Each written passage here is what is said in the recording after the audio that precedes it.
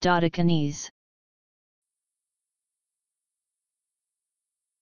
An island chain consisting of 12 main islands including Rhodes, its capital.